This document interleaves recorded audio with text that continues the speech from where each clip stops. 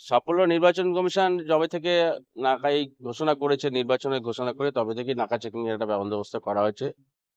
DM office মানে আমাদের প্রশাসনিক দপ্তর, জেলা নির্বাচন আধিকারিক সবাই এটা চেষ্টা করছে যে এটা মাধ্যমে, নাকা চেকিং এর মাধ্যমে পুলিশ প্রশাসন এক্সাইজ ডিপার্টমেন্ট এবং ডিএসটি এবং ইনকাম ট্যাক্স সর্বতভাবে চেষ্টা করছে এখানে নাকা চেকিং করে একটা সুষ্ঠু সমাধান ভাবে যাতে নির্বাচন সম্পন্ন হয়।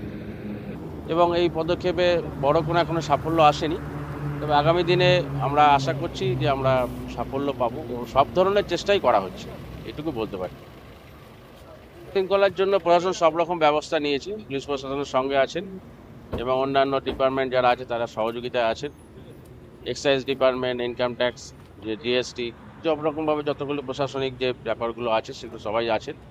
মেনলি যে নাকা চেকিংয়ে যেটা এবছর বড় পদক্ষেপ নেওয়া হয়েছে সেটা হচ্ছে তিনটে শিফটেই নাকা চেকিং চলছে যেটা বিগত দিনে অতটা হতো না। এবং সেন্ট্রাল বাহিনীও কালকে আসছেন ভোট যাতে শান্তিপূর্ণ পশ্চিমবঙ্গে হয় অন্তত বিশেষ করে পশ্চিম বর্ধমানে যেখানে আমরা দায়িত্বপ্রাপ্ত আছি সেটা ভালো করে যে সম্পন্ন করা যায় তার জন্য সব যেরকম যতটুকু ব্যবস্থা নেওয়ার দরকার প্রশাসন নিয়েছে। হ্যাঁ আমাদের সঙ্গে আছেন মেনলি বেঙ্গল পুলিশ যেটা আছেন এবং এক্সাইজ ডিপার্টমেন্ট ওরা আছেন এবং দরকার মতো ইনকাম ট্যাক্সকে দেখা হবে এবং আর পুলিশ প্রশাসন তো আছেনি, সঙ্গে লোকাল পুলিশ, চৌরঙ্গি থানার খবর